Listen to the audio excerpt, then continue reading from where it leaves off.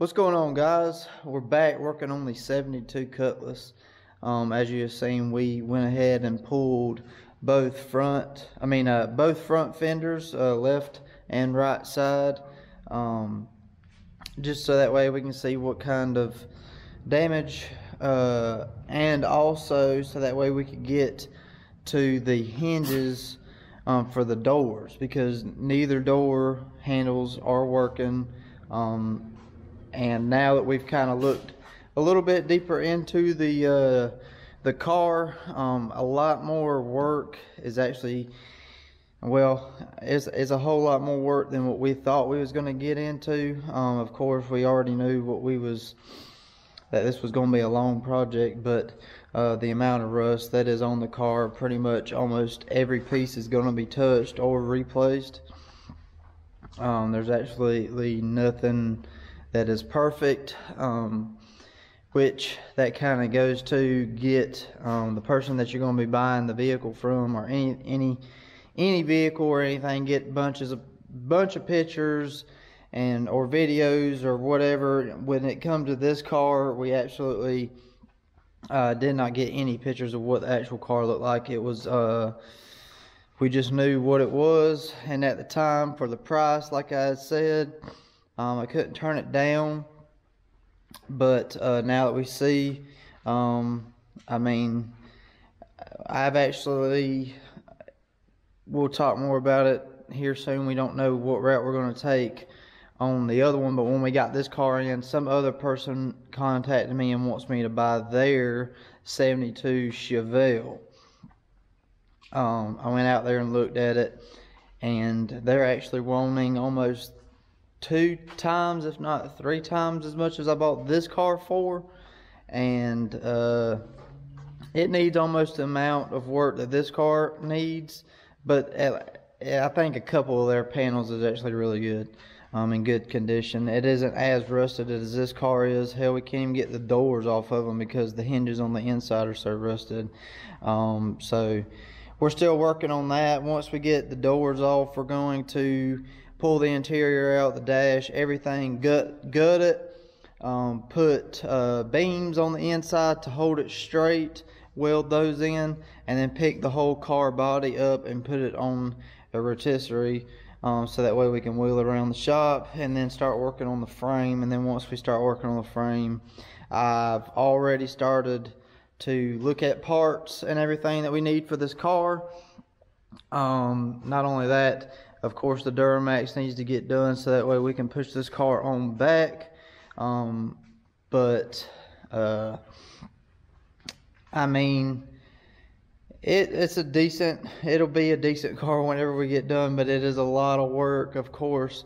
Um, this is a, a two-year build is what we're looking at to the route that we want to go. And not only that is we have to have, this is a personal project, so it gets pushed you know, even further back because we can't work on this car all the time. Um, so it will be fun and we'll get a bunch of footage of us doing a whole bunch of stuff to the car. Um, not going to say exactly what we're going to do motor wise and everything, but uh, it isn't going to be an original original motor and everything. We're actually going to add some horses to this thing and uh, hopefully get on the racetrack. But that comes later. Um, some pros that this car has is actually all the windows inside the car work. Uh, some of them fell off track, but uh, the glass is fine. Uh, the rear glass, the rear glass is also great. Um, it is it is one piece, no cracks, no nothing. Car, but the windshield uh, is separating. It is a two-piece windshield so it is separating so we will have to get a new windshield for it along with all the gaskets and everything uh, or seals uh, but when we get new doors and everything at least we'll have the glass um, that we can replace uh, another good thing this car has is all the chrome trim is on the car and is in really good condition it could be if it there might be a few pieces that aren't the best but most of it can be sent off if we did want to re-chrome it, uh, we can send it off and have it re-chromed. Um, the grill on the front, the front and rear bumper are garbage. Uh, we'll get new ones. We've already been looking at some different ones that are online that really isn't that bad. Um, we've got a, oh, we've looked at interior and everything else. Uh, I, I know we're not going to replace or uh, go with the grill that we have. We're actually going to go with a uh, 442 grill because it's kind of got an opening for it. Uh, I do like that a whole lot better. Um, some color options, uh, suspension, and all that. It will be in the future, but I know for now we're just going to uh, get the car off the frame, work on the frame, get it coated, and then go from there. Um, when we went and picked up the car, uh, I couldn't record uh, everything that went on when we went out there, but I did get some footage of us leaving and everything. Uh, lots of good, funny jokes was going on there. Excited to see what the car is going to look like when we're done. Um, and uh, they were happy that the car wasn't going to be turned into a rust pile um, than, than what it already is. So uh, everything was really good going to that. Just didn't get all the footage of us loading it up, but uh, none of the wheels. They're all locked up. All the brakes are locked up. Um, so we put on dollies and got it so that way we can roll around the shop. And then um, we took the two front fenders off and then trying to get the doors off. Got uh, both rear and front glass taken out.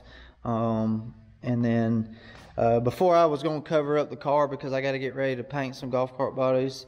Um, I was going to show you what all we've done and, and then kind of like to see, show you what the damage looks like. But uh, it's going to be fun. That's for sure. It's going to be fun doing everything to it.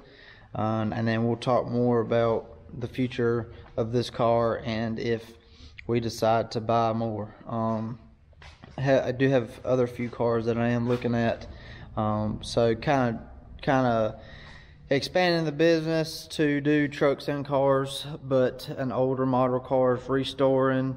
Um, we do body work and everything else like that. Painting, you know, we do it all. The whole nine yards is what we're getting into, and we're just wanting to actually do our own shop, uh, one bad habit car that we can take to a car show, and then we got trucks that we can take to the truck shows. So um, we can have lots of fun in the future with it. So that was the plan, the whole plan about getting this car. And not only that, it is a it will it is one of my dreams to build one of these cars and, and you know put the big wheels on it and everything else like that. Get it, just have fun. But uh, that's pretty much it until we start actually getting to work on it. There, I am getting some parts ordered so that way and then getting my welder fixed so that way we can start working on this but uh, just wanted to keep you updated and we will keep you updated the whole route everything will be recorded on this with everything that we do so have a blessed day go like subscribe um, leave a comment of what you think we should do to the car or or if we're making a big mistake uh, just say that. Um, like I said, we're just going to have fun with it. So just let us know what you think in the comments. Uh, share it on Facebook. Uh, and uh, have a blessed day. And we'll see you in the next one.